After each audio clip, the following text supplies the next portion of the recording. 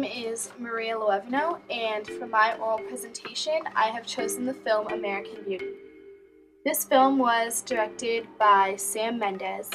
This was his directorial debut after many successful theater productions both in England and America. The film was a huge success, and it paved the way for Mendes' future accomplishments.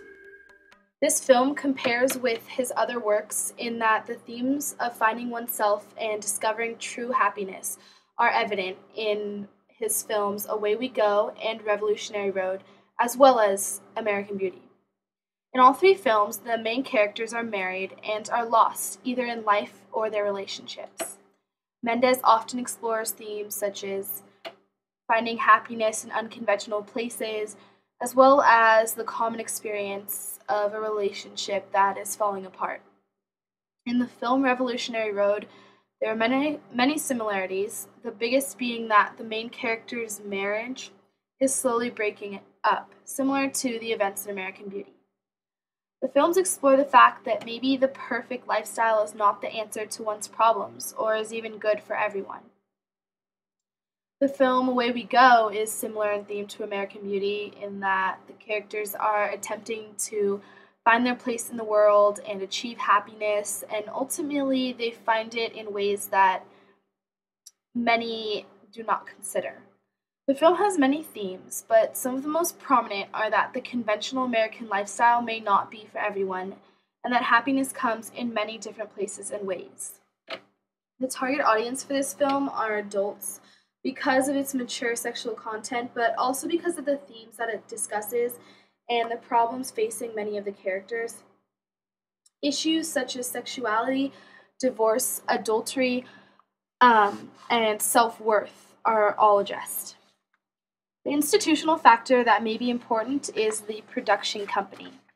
The Jinks Cohen Company produced the film, and after viewing the other movies that they have contributed to, I see a definite pattern in the type of movie that they choose to produce.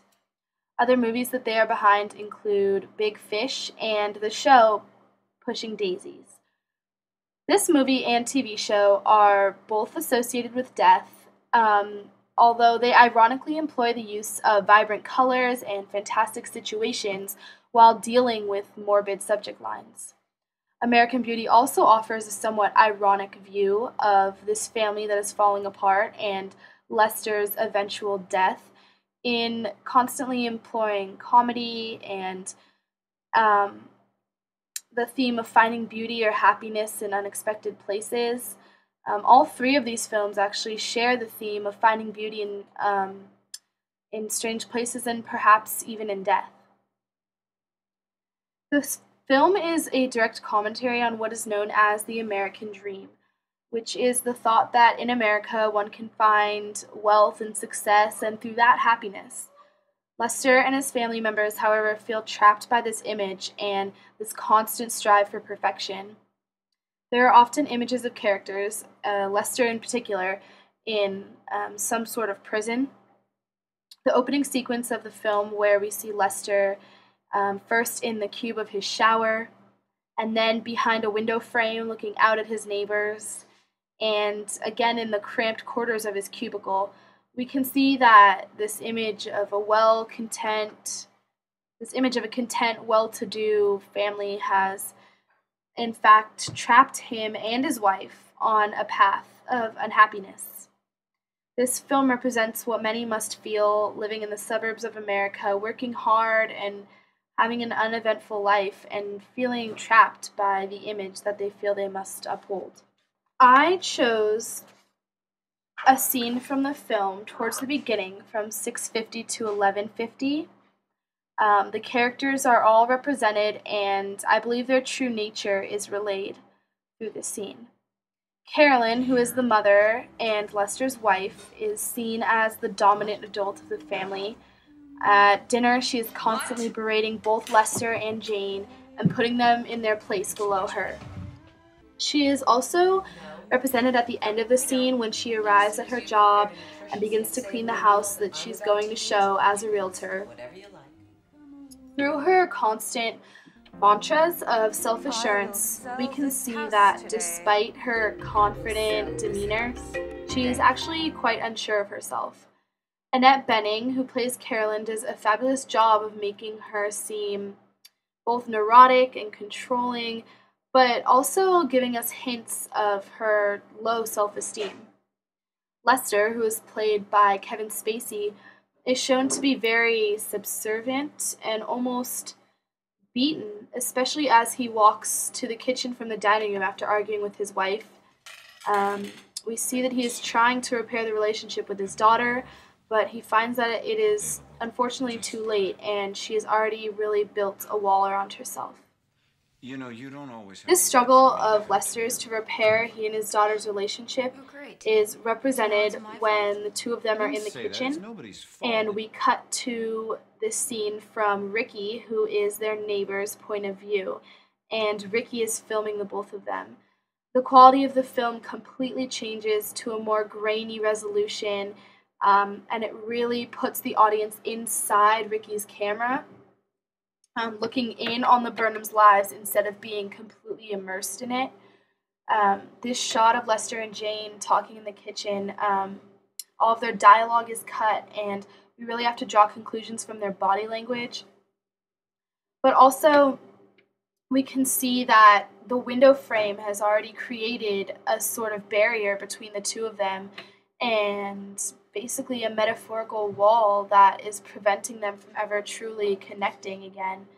Um, earlier in the fi- in the scene, we cut to an image that is very striking. We see the entire dinner table, which is very embellished and is set perfectly, and it has a, ba- a vase of roses in the center of the table, um, which is a recurring image throughout the film. Um, the, ta- the family is sitting there, and both Lester and Carolyn are at each end of the table, and they're immersed in they're in darkness and shadows, while their daughter Jane, who's in the middle, is immersed in light and is almost reminiscent of a religious icon. It seems as if the parents are in their own worlds of darkness um, and unhappiness, and they are separated from their daughter Jane, who is glowing and beautiful, um, and perhaps even innocent.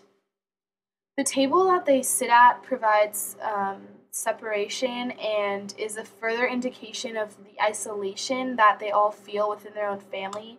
And it really emphasizes that the threads that are holding them together are slowly fraying. All of these images are in direct contradiction to the pictures that open the scene. Um, the scene opens with pictures of the family um, with Jane as a young girl. They're all together and they're all very happy images. Um, but after this uh, montage, we then cut to a wide shot of the three of them at the dinner table. And as the camera begins to move in tighter, we can see that the family is no longer in the happy place that they were before.